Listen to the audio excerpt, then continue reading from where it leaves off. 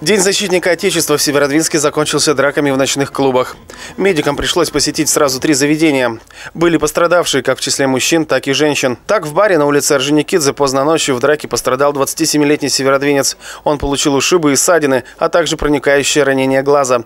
В это же время драка началась в клубе на улице Южной. Здесь 31-летняя женщина получила сотрясение головного мозга и гематомы лица.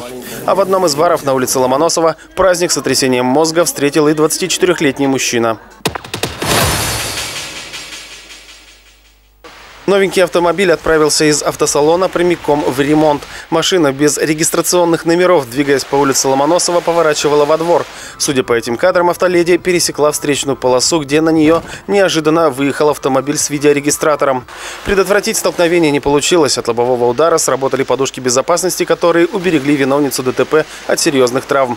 Что послужило причиной аварии, сейчас уточняется в ГИБДД.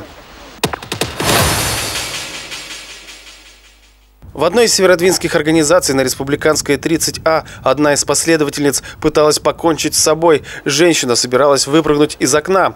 От гибели Северодвинку спас отец. Незадолго до инцидента девушка рассказала руководителю религиозной организации, что слышит голоса. Возможно, именно эти переживания толкнули человека на совершение действия.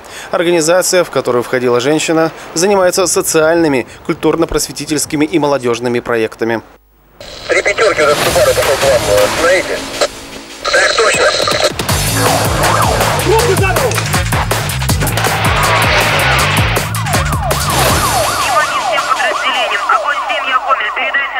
Masters.